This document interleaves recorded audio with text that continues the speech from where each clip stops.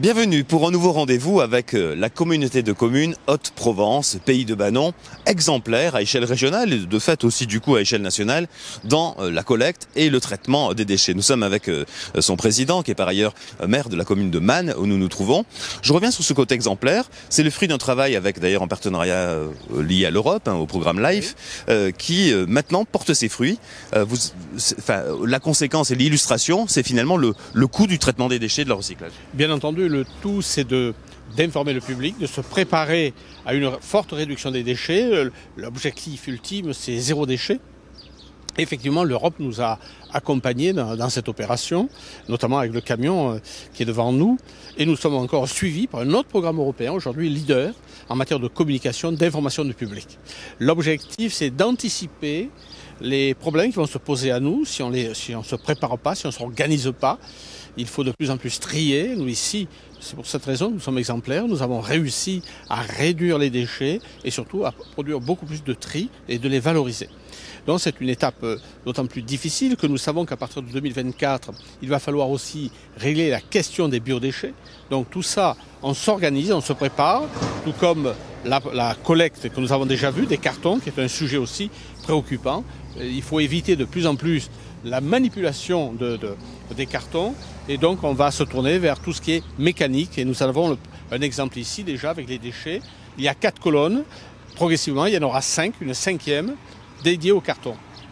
Euh, sachant que euh, vous évoquiez, parenthèse sur les biodéchets, il faut que tout le monde prenne conscience qu'en 2024, il y a une obligation euh, du, du, du, tri euh, des, des biodéchets. C'est cela, les collectivités deviennent responsables des biodéchets. Il faut donner les moyens, la possibilité à tous les, les usagers de, de trier les biodéchets et de disposer d'un dispositif euh, conteneur ou colonne comme ici qui sera dédié bien sûr aux biodéchets. Nous, euh, ce qu'on a mis... Représente, je crois que c'est, quand même 40% des poubelles, c'est ça euh, On peut dire au moins un tiers, oui. Ah voilà. Hein. C'est, euh, des quantités importantes. Alors on y réfléchit, on s'y prépare. On travaille d'ailleurs avec la communauté de, de pays de Fort Calquier Montagne de Lure, avec David Géant, avec aussi son adjoint, euh, Michel Dalmasso, qui connaît bien le sujet et qui là aussi va nous apporter son expérience pour euh, s'organiser. Donc là, très certainement, on fera un double flux. C'est un peu une idée de Michel Dalmasso d'ailleurs, papier et emballage, pour libérer une colonne, une colonne laquelle sera dédiée euh, aux biodéchets. Alors en juin, Jean-Luc, on l'avait creusé euh, il y a pas longtemps à la déchetterie, euh, juste à côté. Il a connu tous les métiers, vous, euh, ici, c'est ça, c'est vrai. Hein exact. Hein. Et l'évolution des choses aussi. Ah oui, bah, j'ai attaqué en 80, 1980 à 2022. C'est sûr qu'il y a beaucoup. Bah, maintenant, on arrive à faire le tri. Au début, il n'y avait pas de tri. Et à l'époque, lorsqu'on disait, il faudrait, enfin, lorsqu'il a fallu dire au tout début, il faudrait trier un petit peu, les gens devaient faire des yeux comme ça. Il a fallu installer des, des, des conteneurs adéquats et attaquer la collecte. Mais ça, c'était pas évident parce que pour faire comprendre aux gens que dans la colonne jaune, il fallait mettre des emballages, dans les noirs, il fallait mettre des ordures, dans les bleus, il fallait mettre le papier. Ça a mis un temps assez, assez long. Mais bon, maintenant, dans l'ensemble, ça va. Ça marche mieux. On a vu quand même que, par exemple, sur les cartons, oui. euh, il y a encore des efforts un peu euh, citoyens à faire. Hein ouais. Oui, oui. Bah, les cartons, oui. Bah, c'est dire que maintenant, on, a, on, on, commence à implanter des colonnes à carton. Bon, là, par exemple, vous en avez une ici. C'est affiché, mais c'est vrai que c'est le seul point noir qui irait dans la collecte. Mais c'est comme tout, ça va un peu mieux. En expliquant aux gens, ça va mieux.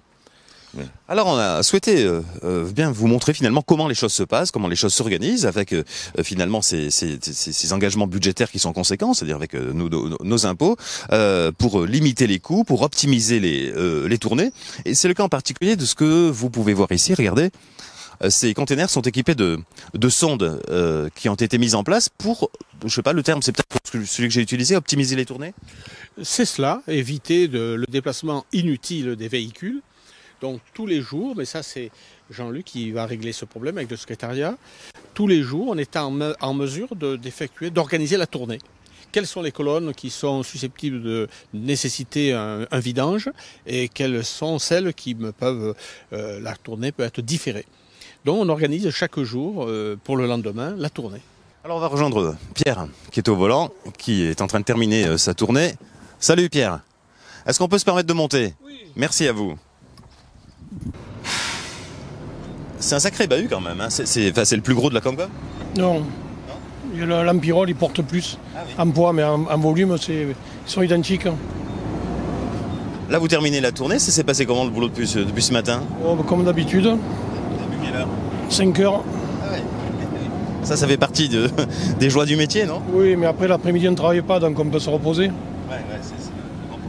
et, vous- euh, et pour illustrer, par exemple, vous avez fait quel, euh, quel secteur aujourd'hui? J'ai fait tout le secteur de Saint-Même, Dauphin, Man, Saint-Michel, Lincel, euh, Rayanne, Saint-Martin-les-Eaux et Villemus. C'est un sacré périple. Vous devez en voir le matin, vous êtes au courant de tout sur ce qui se passe? Oh non, je, je vois- je vois personne. hein. Alors, euh, les, les tournées sont, sont différentes en fonction des, des- des journées, bon, pour les lieux bien sûr, mais également pour, pour les contenus que, que, que, que vous, enlevez. Voilà, oui, quand on fait les, les ordures ménagères, c'est une, euh, une tournée le lundi, le mercredi et le, et le vendredi. Le- les emballages, c'est le, mar- le mardi. Et le jeudi, je fais le verre ou le papier. Euh, euh, vous allez où ensuite Euh, Je crois savoir qu'il y a- qu'il y a deux destinations différentes en fonction de la, de, de la nature de ce, de ce que vous avez enlevé. Quoi. Voilà, les ordures ménagères, c'est à la déchetterie de, de Valençol. Et le reste, c'est- ça va tout chez Veolia. Euh, au centre de tri de Voilà, ouais. Euh, les choses ont beaucoup évolué. Je sais- Ça fait longtemps que vous faites ce métier vous C'est depuis 2013. Ah oui, oui, donc euh, vous en, avez, vous, vous en avez vu comme on dit. Euh, ces investissements, comme par exemple ce, alors enfin, j'ai pas les termes techniques, mais ce camion grue finalement, euh, ça permet aussi d'optimiser, de, de gagner du nom, parce qu'avant vous étiez deux, c'est ça hein? Voilà, avant on tournait à deux et là on tourne- je tourne tout seul et je mets plus de volume dans, dans le camion qu'avec le petit. Avec le petit, on, on mettait moins de volume. Quelles sont les difficultés que vous rencontrez, s'il y en a? L'incivilité des gens qui se garent où il ne faut pas se garer pour pouvoir euh, s'approcher des colonnes. le trois quarts du temps, c'est ça. Dans les petits villages en particulier, Voilà, c'est ça. Dans les petits villages, ils se mettent là où il ne faut pas et avec le camion, je ne peux pas m'approcher pour vider la colonne. Donc, eh ben, on, on la C'est klaxon. Ah non, non, on, on la saute et puis on, on la fait la, la- la fois d'après. Vous avez l'impression que les points de collecte euh, sont propres? On sait qu'il y a quelques endroits où le, enfin, le, président euh, qu'on a vu tout à l'heure euh, vous avez même de mettre des caméras, quoi. Mais euh, parce que voilà, euh, enfin, les gens sont pas forcément tous, en tout cas, très, très bons citoyens. Ça, va mieux Ben, il y a des endroits comme sur Rayanne, il y a beaucoup d'incivilité au niveau de la. Les, les gens, même si c'est plein, continuent à, à déposer les sacs. Et après, ça fait, ça fait, ça fait pas propre pour, la, pour le visu. Et quand il y a des, des- des- les renards ou les chiens qui viennent estracer les, déchirer les sacs, après ils en mettent de partout. Alors qu'il y a d'autres- endroits où les colonnes sont pratiquement vides et ils vont pas les, ils vont pas les remplir. Après, ça risque, oui, c'est un peu style. euh, ils se enfin, le, le service ordure ménagère se débrouillera bien. quoi. Voilà, ouais, voilà. C'est les, c'est les employés communaux qui, qui font le nécessaire. Moi, je ne ramasse pas ce qu'il y a par terre. Merci Pierre d'avoir pris un, un petit moment avec nous. Repos maintenant, c'est ça? Ben, je vais faire encore la dernière et puis après, je, je garde le camion et le week-end, à midi, le week-end sera commencé. Merci beaucoup d'avoir pris le temps et bravo pour, euh, pour votre métier et votre engagement. On va vous regarder faire d'ailleurs pour cette colonne et rejoindre Jean-Luc. Jean-Luc, là on a des colonnes neuves, alors c'est ça hein Oui, c'est les dernières, la dernière série. Il y a des évolutions, non, sur les colonnes, je sais pas, non, sur la profondeur Euh, le, le tour est bétonné, c'est un peu plus costaud. Mais sinon, le principe, c'est le même. Euh, non, non. Alors là, on va expliquer ce que va faire Jean-Luc. Il, va, il prend aujourd'hui, donc c'est quel euh, Aujourd'hui, c'est ordure ménagère. ordure ménagère.